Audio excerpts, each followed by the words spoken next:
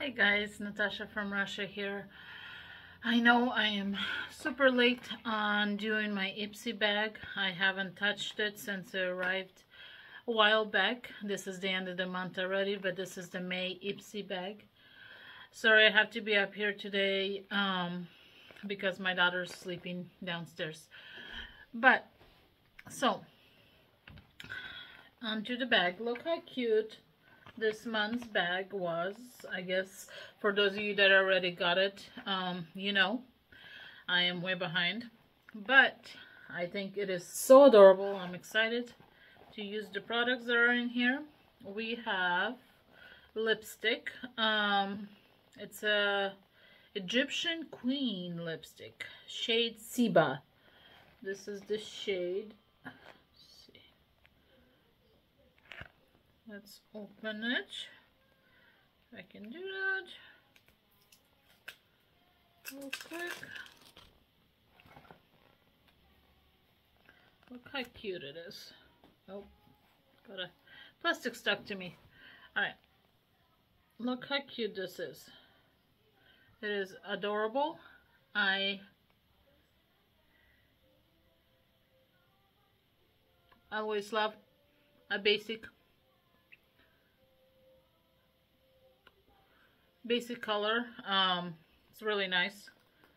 It smells, doesn't really have too much smell, but it's pretty cool. I'm excited for that. Definitely going to be using it. We also have hydration, let's see, hyaluronic acid serum mascara. Again, look at this beautiful packaging. I am in love with the packaging.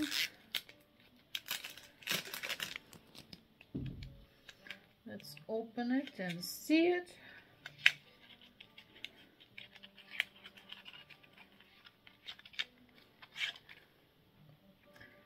It's a cute little travel size mascara. Um, it's black. Here's the brush. A good travel size um, item. The next item we have is highlighter.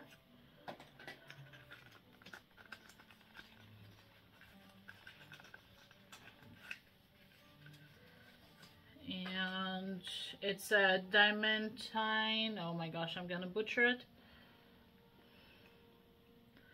But this is how it looks. Pretty shiny color.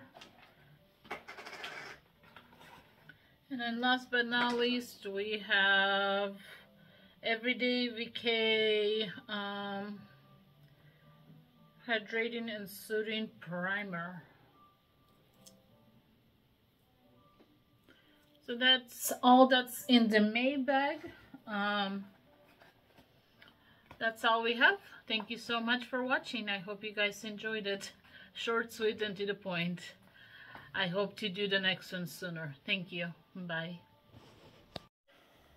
Hey guys, it's me. Um, real quick, I also forgot to add this. It came with a pretty makeup brush. Um, that's pretty soft as well. But yeah,